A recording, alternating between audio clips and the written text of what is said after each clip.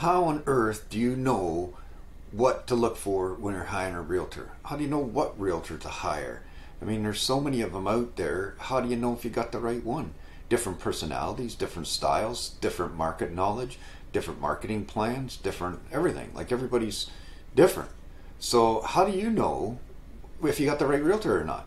Or you're going to hire the right realtor. So, here, I'm just going to run through a few things to think about here. Um, so, I got a little PowerPoint here for you. So, how do you how do you feel when hiring a realtor? I mean, I hope you guys don't feel like any of these pictures here and and what they depict. So, here, like, do you guys feel like you're you're under the heat or under under pressure whenever you're hiring a realtor?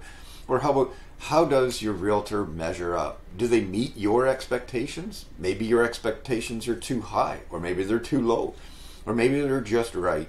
Um, but your expectations are your expectations, and hopefully your realtor will come close to that and have a have a good conversation about them and what you expect at the end of the day. And here, how about this? Do you feel like the prey or the predator? Who's in control? Do, and also, too, the other thing to think about is is your realtor aggressive enough to work on your behalf? They don't need to be not so much aggressive, but assertive. So, you know, you want them to look out for you. Um, how about this? when you're selling a home, sometimes it can feel like you're in a storm. And sometimes things just don't go right. Sometimes things get a little messy. But your realtor should help you feel calm in that storm. And no realtor out there, I don't care who they are, they're going to say, some realtors will say, oh, I'll take all away all the stress and make this as easy as, easy as pie. Well, that's not necessarily true. There's always stress. No realtor, I don't care who they are, can take away 100% of the stress and make it a stress free. I hear that all the time, stress free. There's no such thing. So they'll, they'll help you uh, eliminate some of that and make it as easy as possible. And that's what the realtors are for, is to help you feel calm in that storm. Um, how about this? Do you feel like you're in a sea of sharks when it comes to realtors? Well, when you hire the right one, this is how you should feel. Down here, you should feel at peace. You should feel calm. You should feel confident in your realtor. You should feel, um, you know, because you, you want to hire somebody that that you have that they have a personality that you can get along with. Because sometimes it can take months to, to sell your home. Sometimes it can take very few, very days. But sometimes in a typical market, it can take a lot longer than a few days. It can take months. And you want to have a good working relationship with your realtor. And you know what? This is this is about you, not about me. So this is about helping you achieve your goals, your real estate goals. So no matter what walk of life you are, that's what we're here for. That's what I'm here for. That's what all realtors should be here for.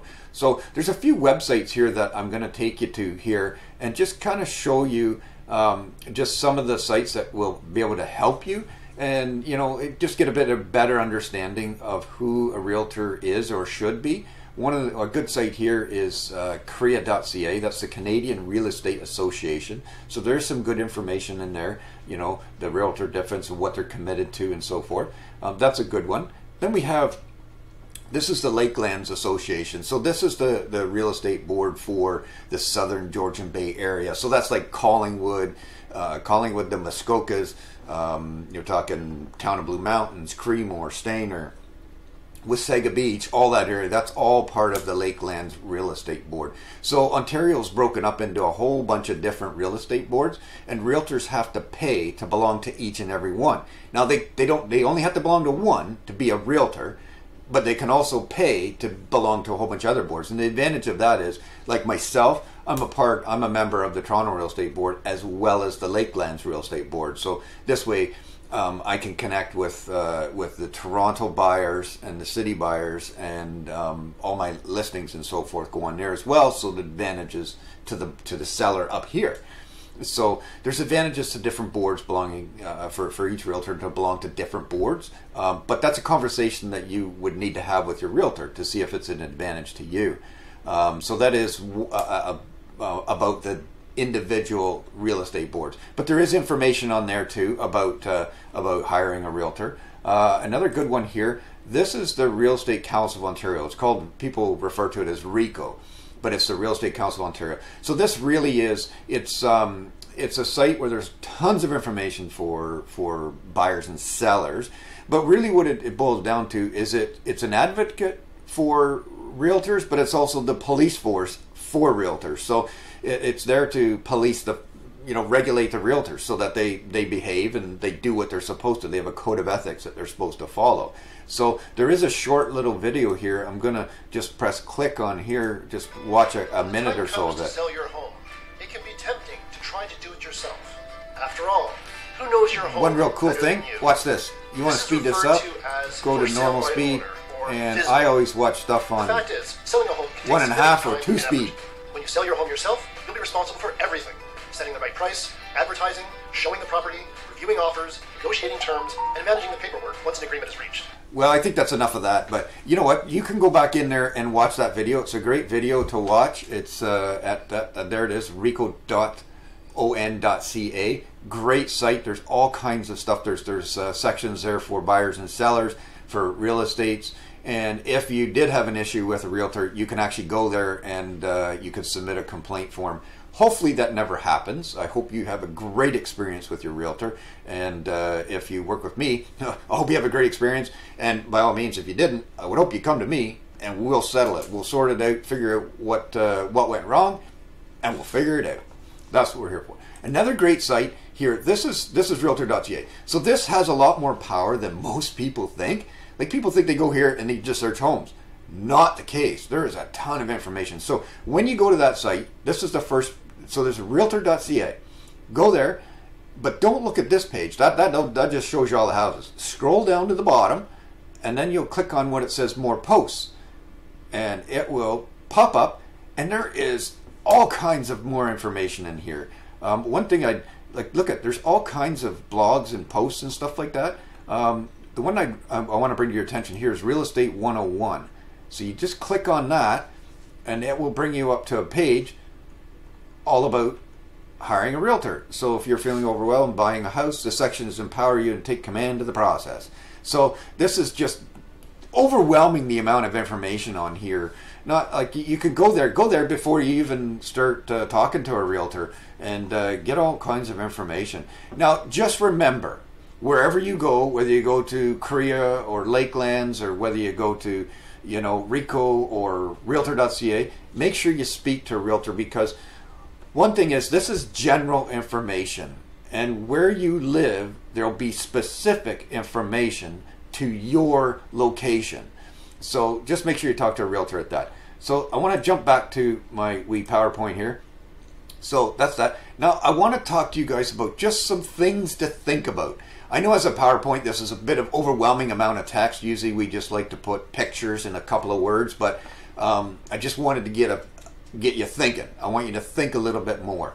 So when you're thinking about hiring a realtor, are you comfortable with that person? That that should be number one. I mean, that's why I got at the top. If you're not comfortable with them, you shouldn't be working with them. There are scads of, of realtors out there you could work with. So make sure you're comfortable with them. And uh, and there's there's brokerages, but then there's brokers and salespeople. So the brokerage is the over the the, the body, basically the you know the the the franchise. They own everything, and then all the brokers and salespeople work underneath that brokerage. But each salesperson and broker is actually their own business, so you'll deal with them directly. You won't actually be dealing with the brokerage. So you got to be comfortable with the salesperson or broker that you're working with. And if you want to know about the difference between salesperson and broker, I'll explain that later um, in another video. So the other thing is, do you trust them? Why do you trust that person? Do you have a relationship with them? Does that realtor know the local market? Like we get people, like myself, I, I live in the southern Georgian Bay area. I would never consider listing a property in Ottawa or or even Toronto. I wouldn't consider that's a whole different market than it is in the southern Georgian Bay. So you gotta know you gotta know that your realtor knows the local market. And there's lots of micro markets within local markets even. And when I mean micro markets, I mean there could be a subdivision that has a market all to itself. Like that that that subdivision may be in high demand. We see that a lot for um, for uh, retirement communities and stuff like that. We there, there's sometimes waiting lists to get in there. So that that's that's that's even a micro market inside a market. Um, and the other thing is, do they have a history of real estate sales? How long have they been in? And and sometimes you might hire a realtor that that is right out the gate, like they just got their license, and you may actually be their first sale. Don't count that against them, because one thing that's really good about that realtor who who has just been hired or just just started out is they may be able to focus all their energy on your sale. So that's a bonus. But the other thing is they need to have a backing in their brokerage of a history of real estate sales in that area. So if it's a brokerage that is, you know, out of area, uh, you might want to consider how you're going to deal with that and, and the history of real estate sales in that area. So think about that. Um, the other thing is, has the buyer, or sorry, has your realtor worked in a buyer and seller's market? Because right now we're in we're in a buyer's market, and that's changing. So this is 2022. The market is changing. Interest rates are climbing and uh, the, the volume of of homes is going to increase because there's not going to be as many buyers in the market. Now there still is a lot right now. Don't get me wrong, um, but that is going to change as the interest rate climbs because it's pulling away from the buying power of the buyer. So they'll be able to afford less of a house. So you know what they might have afforded five or six hundred thousand a year ago. Now all of a sudden they can only afford three or four hundred thousand. That's an example. I know that finding a five hundred thousand dollar house is almost impossible these days but know that they, they can work in both markets. Um, also, how about can they negotiate on your behalf?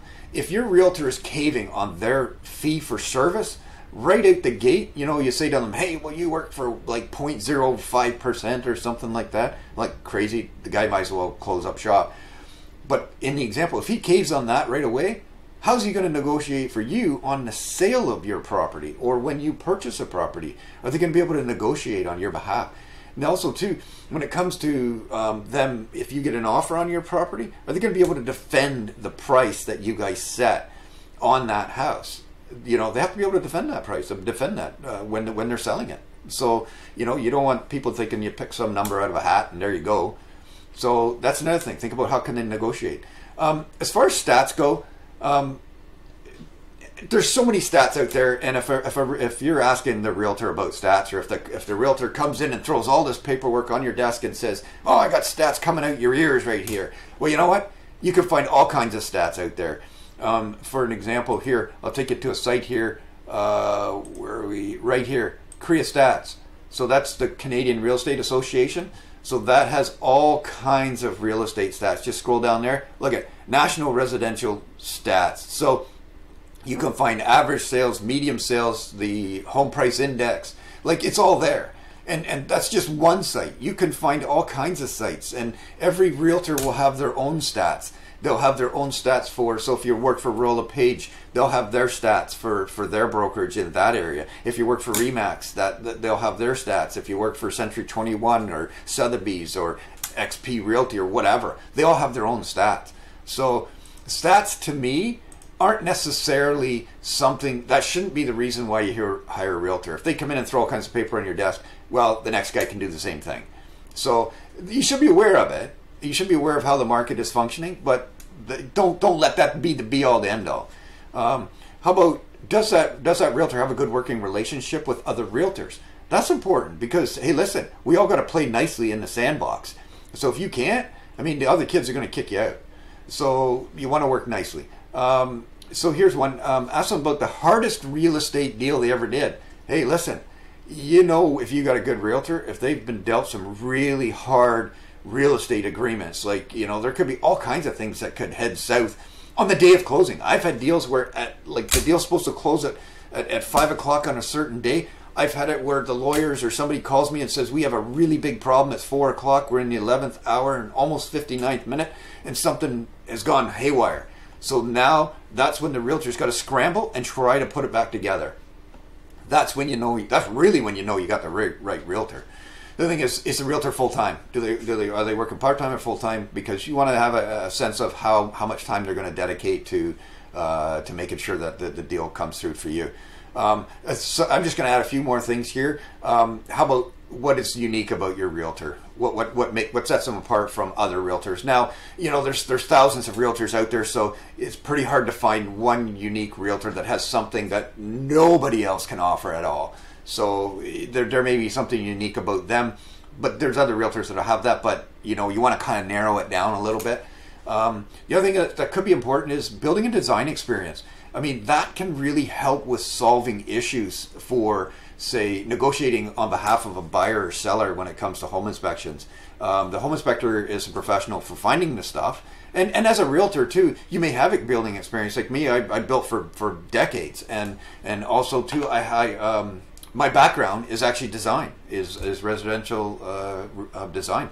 So that's another good thing. The other thing is too is if they if they have good building and design um, experience and knowledge, then when they do a walk through your house, they can say, "Hey, listen, you know, if you did this little bit of stuff here, it'll cost you X amount of dollars, not a whole lot, but it will re- the return on it when you sell it and and the time it takes to sell it will be a whole lot faster, and you get you get more money for it because it makes it worth more money." So that's another thing. Another thing that's important is is the is the realtor explaining explaining the contracts. Like a, a, lot of times, I mean, I've been to countless lawyers, and the lawyers just throw the papers on the thing at the desk and say, "Here, sign here, sign here, sign here." And even before I got into real estate, when I worked with realtors, um, they would just say, "Here, sign here, sign here, sign here," and I never really got an explanation of what what I was signing.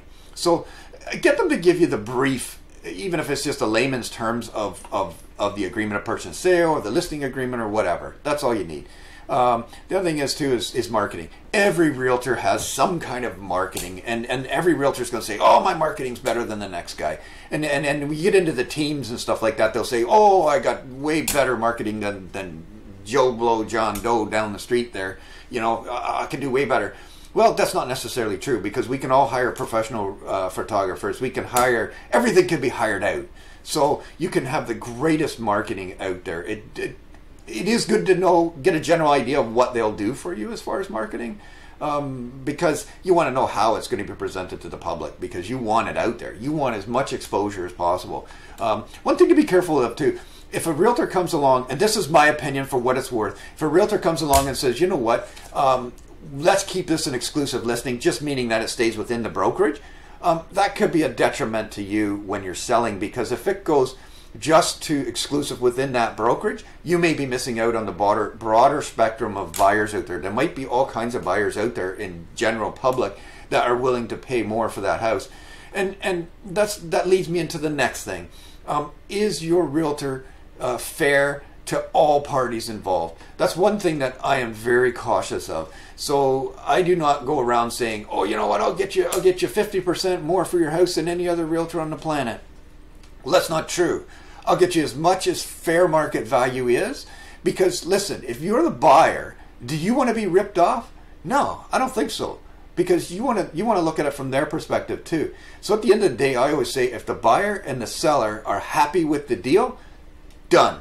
No, it doesn't matter what anybody else says. Everybody at Joe Blow out there can just go away because it's not it's not their house.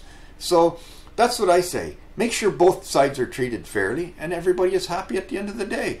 So the other, the last point I'm going to make, and I know this was an awful lot, and and if you want, I can send these questions to you because you may not be in my trading area, so you might want to have these questions for for interviewing your realtor wherever you live. So the last question I'm going to ask is about or get you to think about is after sales service. So you know what? At the end of the day, when the contract closes, when the like when the house sells and the completion date is done, and you the buyer moves into the house, whether you're the buyer or the seller, is the realtor still around, or have they fled the country, so to speak? Do you ever hear from them again?